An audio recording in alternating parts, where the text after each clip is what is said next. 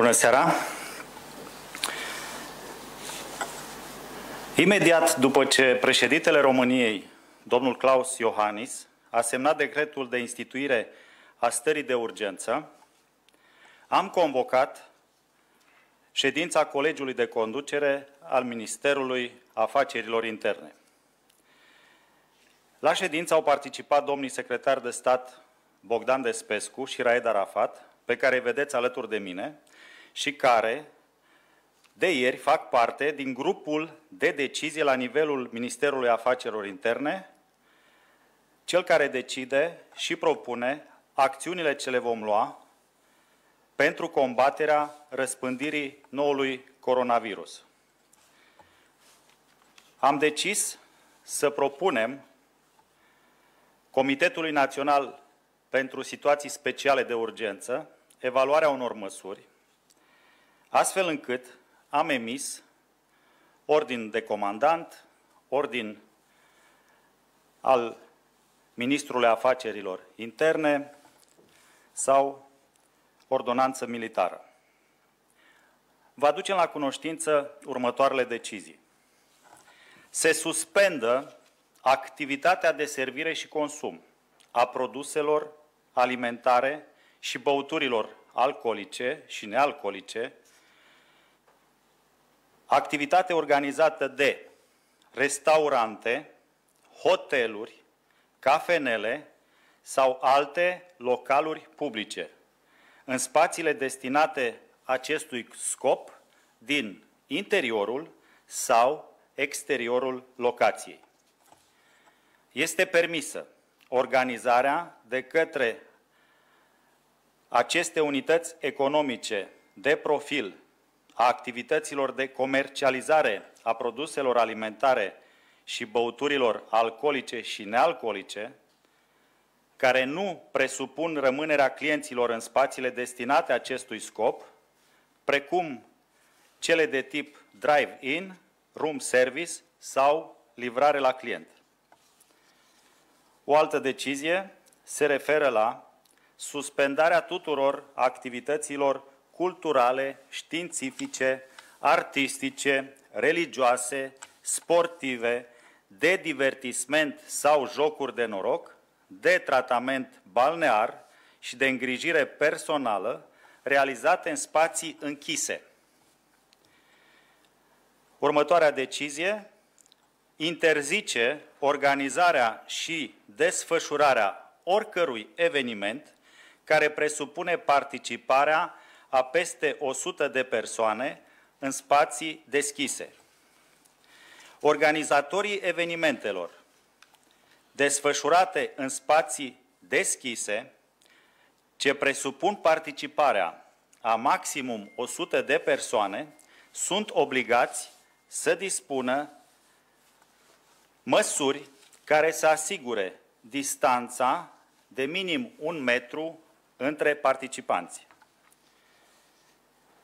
Totodată, am decis cu privire la transportul de marfă că toți conducătorii autovehiculelor de transport marfă cu capacitate maximă autorizată mai mare de 3,5 tone au obligația ca în punctul de trecere a frontierei să aibă asupra lor și să poarte mijloace individuale de protecție, precum dezinfectant, mănuși mască pentru față și să prezinte documente care atestă traseul de deplasare până la destinație.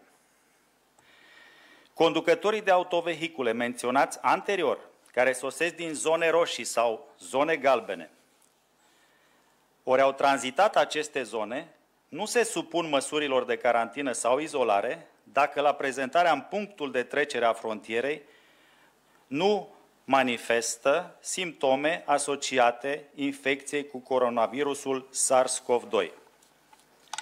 Totodată am decis cu privire la export următorul lucru. Ansamblele și subansamblele echipamentelor medicale fabricate în România pentru beneficiari din afara teritoriului național nu fac obiectul restricțiilor la export. O altă decizie destul de importantă pe care am luat-o în această seară, mai ales după evenimentul înregistrat astăzi pe aeroportul Henry Coandă, se referă la următorul lucru. Se suspendă toate zborurile efectuate de operatori economici aerieni spre Spania și din Spania către România. Pentru toate aeroporturile din România, pentru o perioadă de 14 zile.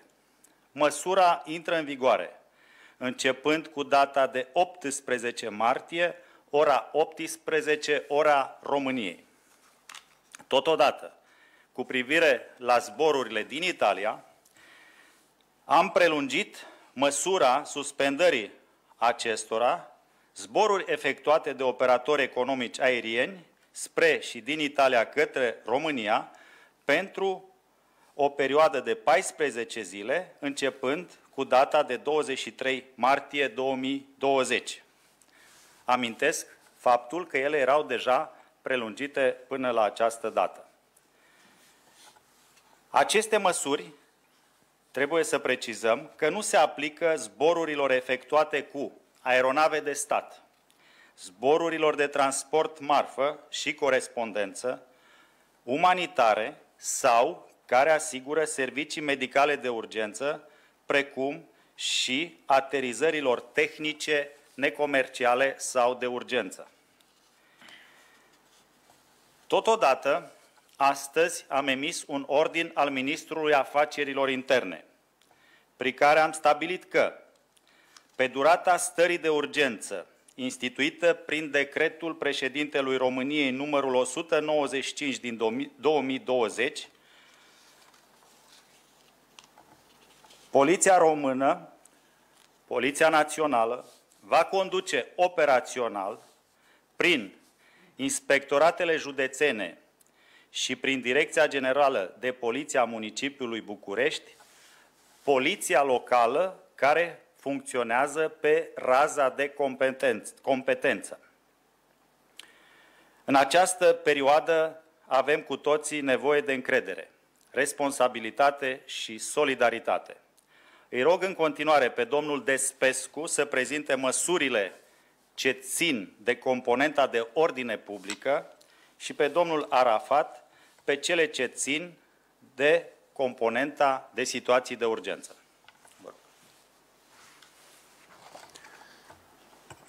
Mulțumesc, domnule ministru.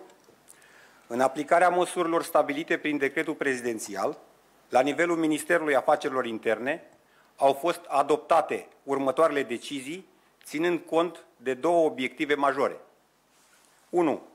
Să fie aduse la îndeplinire sarcinile suplimentare ce revin unităților Ministerului Afacerilor Interne pe linia prevenirii și răspândirii coronavirusului.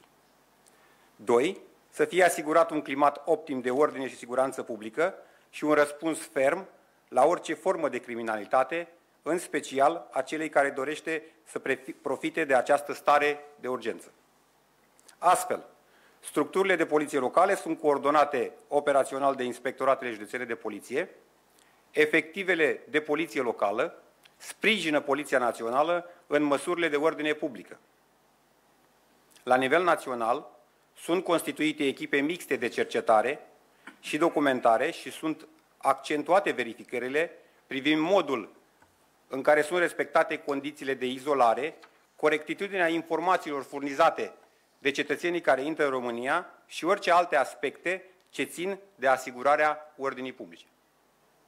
Parchetul General și Ministerul Afacerilor Interne au organizat în comun activitatea administrativă și programul intervenției al unităților de parchet și de poliție judiciară pentru a fi în măsură să asigurăm un răspuns operativ și ferm în fața oricărei forme de criminalitate.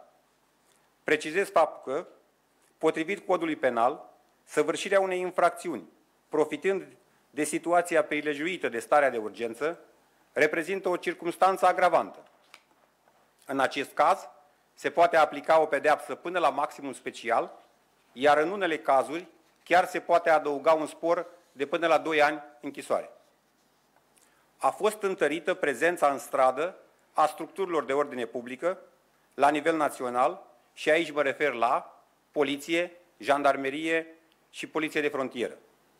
Dispozitivul de polițiști de frontieră este suplimentat și sunt înnăsprite măsurile de verificare la frontieră, atât din punct de vedere al trecerii frontierei, cât și pe fâșia de frontieră.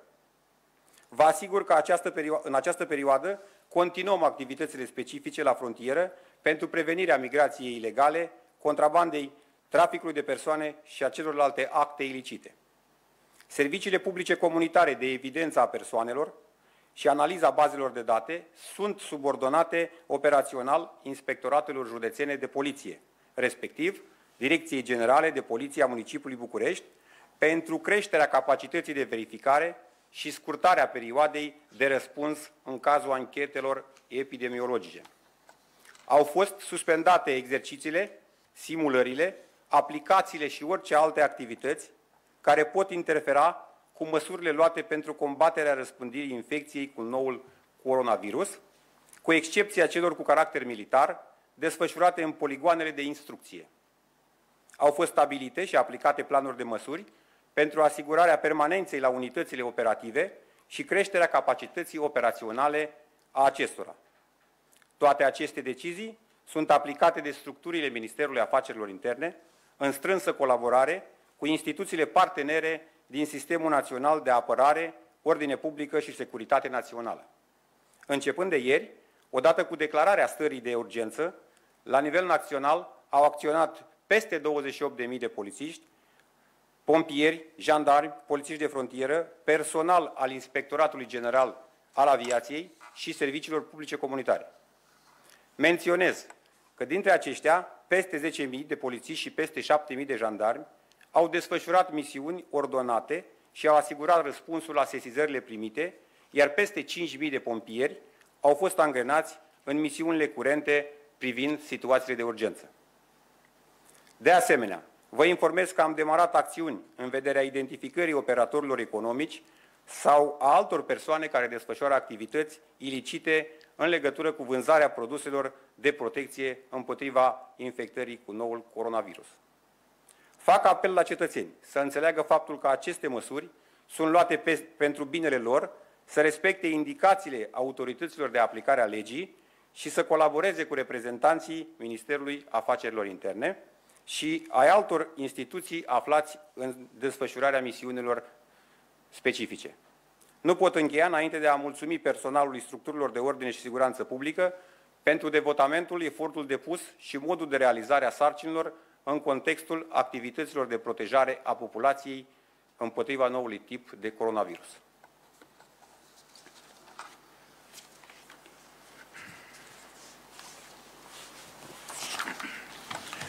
Mulțumesc, domnule ministru. Bună seara.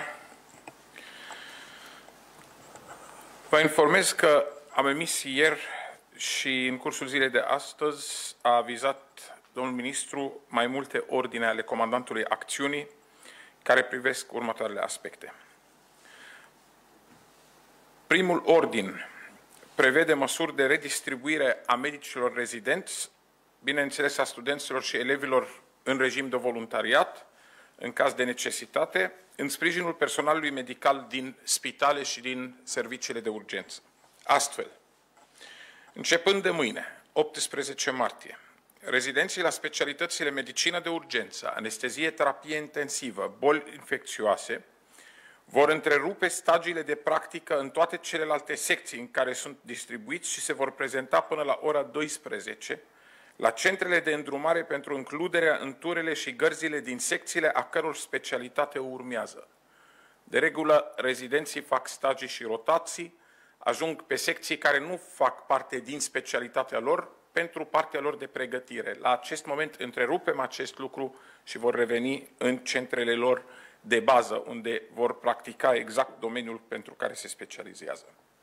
Rezidenții în specialitățile medicină internă și medicină de familie întrerup de asemenea stagiile de pregătire și se vor prezenta la direcțiile de sănătate publică în vederea repartizării la serviciile de ambulanță unitățile de primiri urgențe, camerele de gardă sau secțiile de spital, în funcție de necesități, inclusiv pentru a sprijini direcțiile de sănătate publică.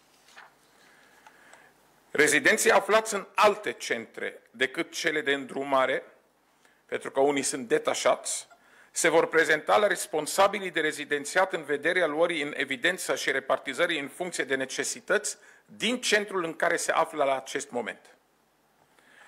Rezidenții din alte specialități medicale decât cele enumerate până acum vor fi luați în evidență pentru a fi repartizați în funcție de necesități de către direcțiile de sănătate publică.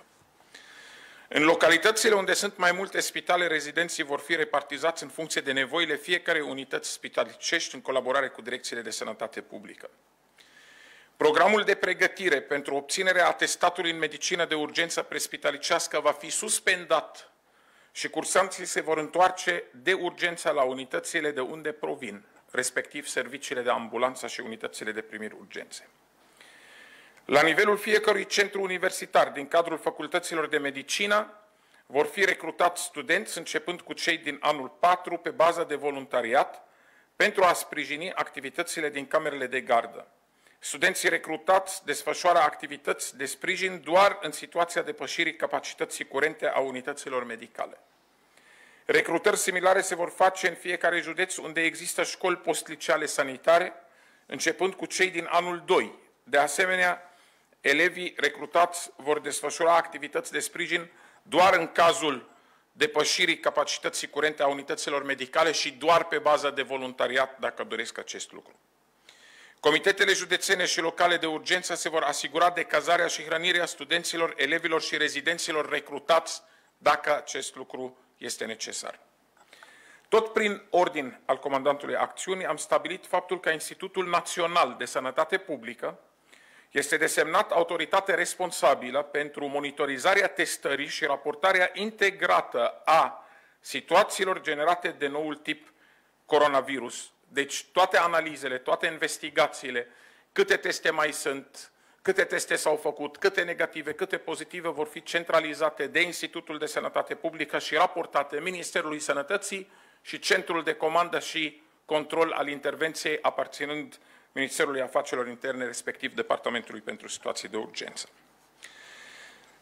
Totodată, de menționat că au fost instalate 162 de corturi speciale destinate triajului medical, dar și pentru fluidizarea traficului la punctele de trecere a frontierei. Astfel de centre, astfel de corturi, puteți să le mai vedeți și în fața unor spitale, unde au fost instalate pentru separarea fluxurilor cel, ă, între cei care vin pentru alte motive decât cele care reprezintă febră și simptome respiratorii și cei care vin cu aceste motive unde se face o preevaluare înainte de intrare în unitatea de primiri urgență. În același timp, Ministerul Apărării Naționale, printr-un alt ordin emis în zi, cursul zilei de astăzi, împreună cu Spitalul Ana Aslan, vor întreprinde măsurile pentru instalarea Spitalului Rol 2 al Armatei Române și a unei tabere care va fi în sprijinul spitalului respectiv și vor folosi și spații ale, Institut, ale Institutului Ana Aslan pentru a pregăti o unitate sanitară care va permite tratarea celor în for, cu forme ușoare sau forme intermediare în mod deosebit dacă va crește numărul și va fi necesar acest lucru.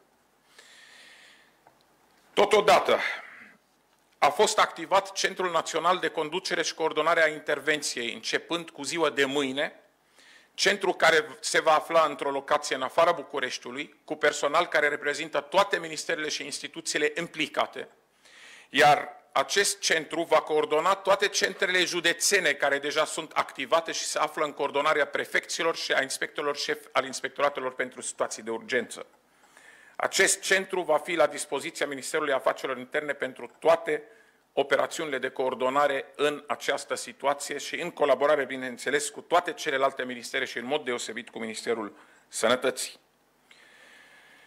Din datele existente până la acest moment, în țara există, în țara noastră la acest moment au fost confirmate 217 cazuri de infectare cu noul tip de coronavirus, există 3373 de persoane în carantină și 18.965 de persoane în izolare la domiciliu, iar aceste date sunt date în dinamică și pot să se schimbe din minut în minut. În următoarea perioadă urmează să se emite și alte ordine și dispoziții care vor viza pregătirea județelor pentru a face față infecției cu noul tip de coronavirus și pentru a face față, bineînțeles, și a sprijini populația care va avea nevoie de îngrijiri medicale. Singura rugăminte care o avem la acest moment este ca populația să asculte recomandările, să evite prezentarea la unitățile de primire urgență și la camerele de gardă pentru simptomele de viroză, febră, tusă și mai degrabă să ia legătura cu medicii de familie sau prin 112 cu serviciile de urgență pentru a stabili modalitatea în care vor fi consultați, astfel încât să nu pună viața altora în pericol, dar nici viața lor în pericol. Mulțumesc!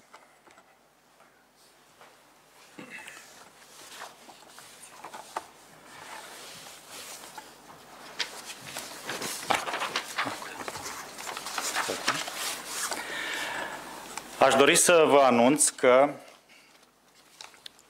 de fiecare dată când vom lua decizii, le vom aduce la cunoștința dumneavoastră în cel mai scurt timp. Pentru că trebuie să fiți la curent cu tot ceea ce facem aici. Dragi români, toate măsurile luate sunt în scopul prevenirii eficiente a răspândirii pe teritoriul României a noului coronavirus. Vreau să precizez că nu suntem în situația în care să închidem orașe, nu suntem în situația în care să raționalizăm alimente. Sunt fake news-uri. Ce măsuri luăm acum, toate acestea le facem pentru a asigura așa numită distanțare socială pentru o perioadă de timp, astfel încât să ne asigurăm că în România nu se va ajunge la o răspândire intracomunitară extinsă. Planul de măsuri al Ministerului Afacerilor Interne se va aplica gradual. Așadar, vreau să transmit tuturor românilor să nu cadă pradă informațiilor false, să fie puternici și lucizi. Să fiți siguri că noi toți cei din Ministerul Afacerilor Interne și instituțiile partenere suntem la datorie.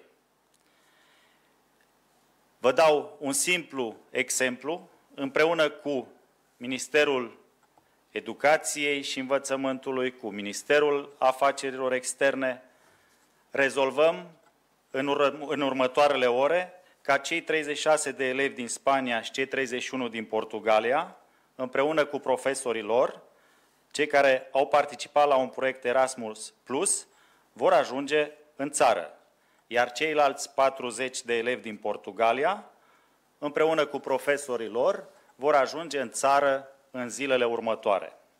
Așadar, suntem la datorie într-un parteneriat corect și eficient cu toate instituțiile. Dragi prieteni, fac acum în această seară un apel către frații din diaspora. Nu este bine pentru compatrioții noștri din țară să reveniți acum acasă.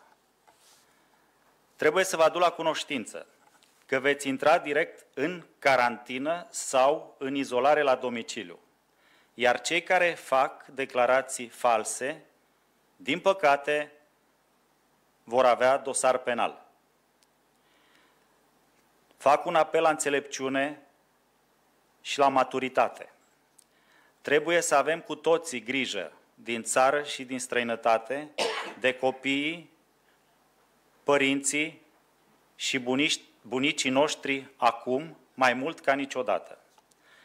În încheiere, și eu și toți cei care suntem la datorie și colegii mei, Raed Arafat și Bogdan Despescu, împreună cu echipele care sunt zi de zi în frontieră, în orașe, în comune și în București. Împreună cu medicii, cu toți cei implicați în această activitate. Apelul nostru este simplu. respectați sfaturile medicilor și măsurile personale de autoprotecție și siguranță. Noi suntem aici pentru dumneavoastră și doar împreună vom reuși. Vă mulțumim!